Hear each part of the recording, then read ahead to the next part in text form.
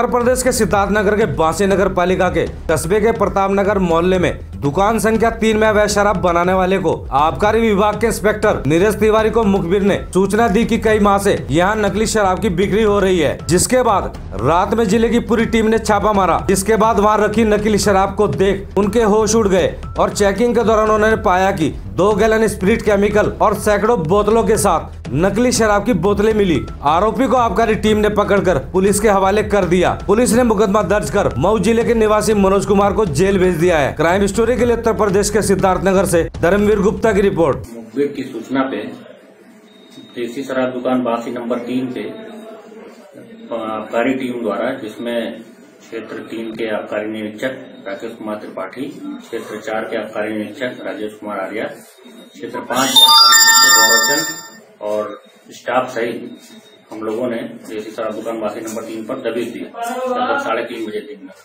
वहाँ पर विक्रेता मनोज कुमार दुकान पर बिक्री करते हुए पाया गया। विक्रेता दुकान की जब हमने गहन निरीक्षण किया तो दुकान पे 26 पौगे हमको संदिग्ध अवस्था में मिले। 26 पौगों में से 16 पौगे उसमें पानी का मिश्रण था और 10 पौगों का स्प्रिट मिश्रण था।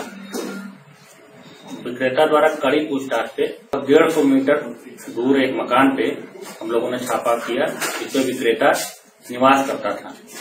वहाँ से हमको लगभग 40 लीटर स्प्रिट मिली और 710 ढक्कन नकली मिले।